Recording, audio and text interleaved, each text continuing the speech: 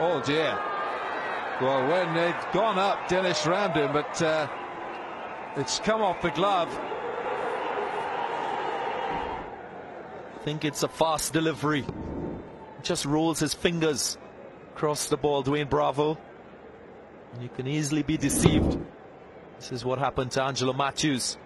Just trying to pull his bat out of the way. But the champion dances, Dwayne Bravo. There you go again! How about another El Dorado celebration from the DJ? Bravo! 23 kilometers per hour. And celebrations again for him.